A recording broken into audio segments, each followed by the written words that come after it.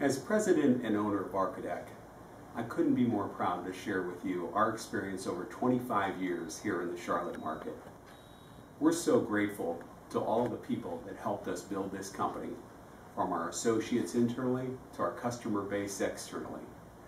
Having completed now over 22,000 homes here in Charlotte, with everything from a simple deck to a screen porch with an outdoor fireplace to a room addition, it's been a heck of a ride.